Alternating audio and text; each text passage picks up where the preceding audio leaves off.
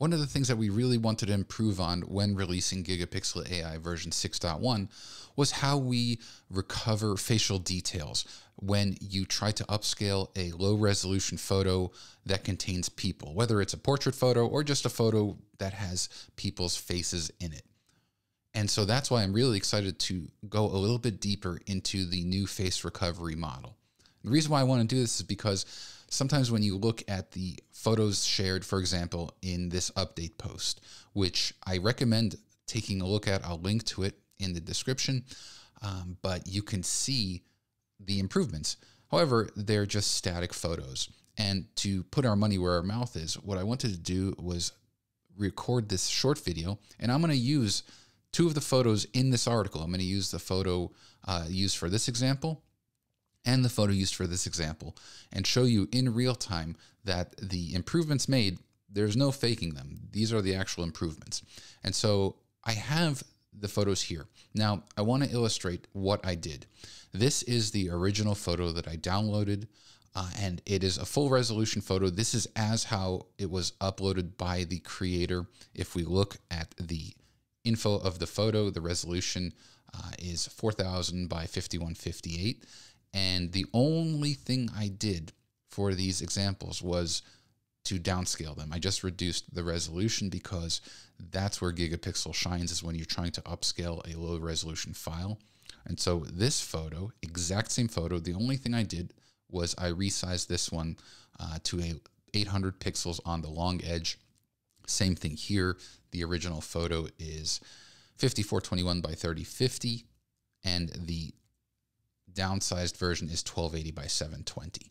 So both of them are much smaller than the original. And also, if you look, here's the original photo, and you can see that there um, is more detail in this person's face when you go to the downsized version, as you would imagine. Um, that de- some of that detail is lost. Um, and then here, same thing, full resolution photo.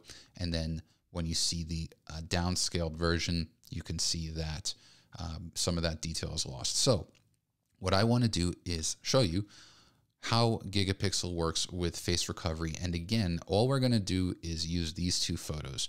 So let's start with this first one here. I'm going to take it and drag it onto Gigapixel AI. Now let's take a look at what's going on. I'm zoomed in at 200%. You can see at the bottom here, that's the source resolution, 620 by 800. We're upscaling it by six times. This is gonna be our output resolution. Now I'm using the low resolution model here because I think it works best for these types of photos. I'm gonna go ahead and just reposition the photo. And you can see that the results are not especially good. Uh, and that's because we have face recovery turned off currently. So let's go ahead now and turn it on. And you can see just the improvements are staggering. Let me turn it off. And you can see that is uh, the upscaling without the face recovery model being applied. And then we turn it on and it's it's almost like magic. And I did exactly nothing other than turning on the face recovery uh, utility to enable the model. And I have the face recovery strength slider at 100%. This strength slider will control how much additional sharpness and blending will be applied to the areas that are being recovered in the face.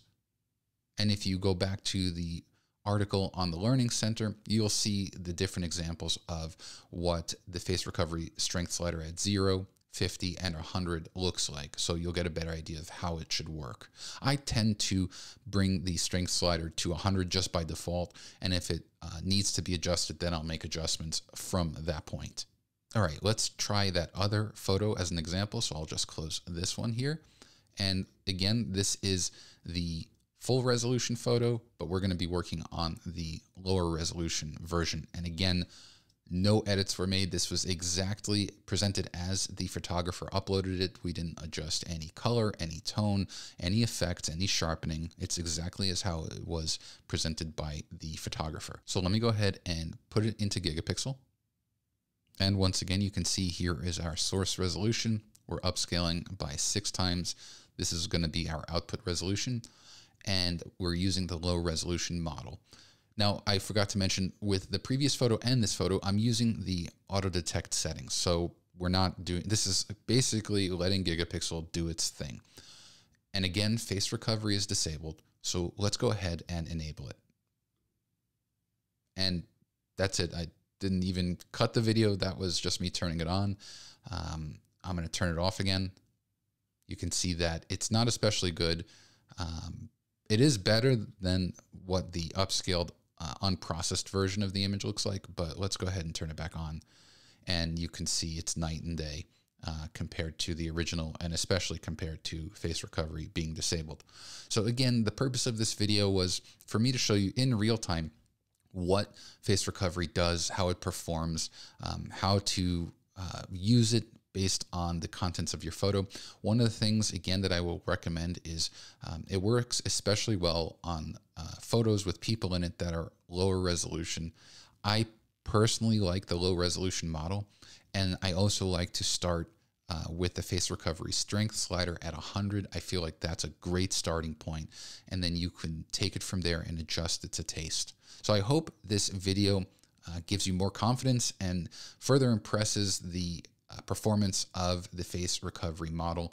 If you don't have Gigapixel AI, head on over to topazlabs.com. You can download a free trial, try it out with your photos, and see for yourself.